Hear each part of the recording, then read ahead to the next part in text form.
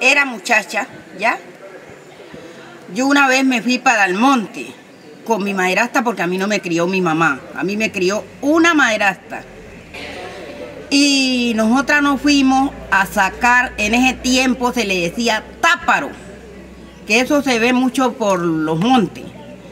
Y nosotros nos íbamos a sacar eso para cocinarlo. Después de cocido lo partíamos, sacábamos los ojos, porque cuando está cocido los ojos salen enteros.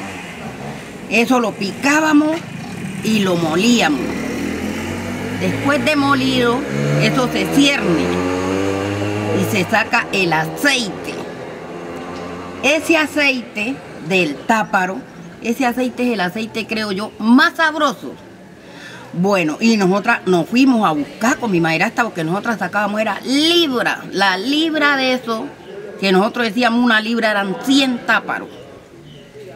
Y una vez, como le parece que nos fuimos nosotras, y fuimos sacando y fuimos sacando, y cuando cada una reunió su libra, ahora sí, eso lo sacábamos en canasto, que se le dice. Nos echamos cada una su bulto a la espalda y ahora sí vamos a buscar camino y para su casa. Pero el camino nosotros teníamos camino ancho derechito.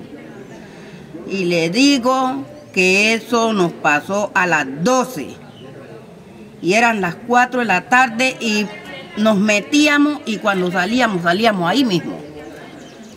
Caminábamos, caminábamos, caminábamos, pero bastante. Y cuando íbamos a salir, salíamos otra vez ahí.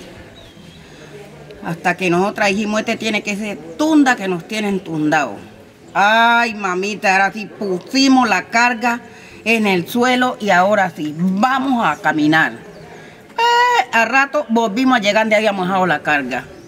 Y así nos tuvo la tunda toda la tarde y por ahí como a las 6 de la tarde. ¿Qué inventó mi madrastra? Cogió el machete mío, el machete de ella y clen, clen, clen, clen, a darle el uno con el otro. Y de esa manera, y estábamos cerquita de la orilla del río. Esa historia me pasó a mí cuando era muchacha. Y ahí llegó mi historia.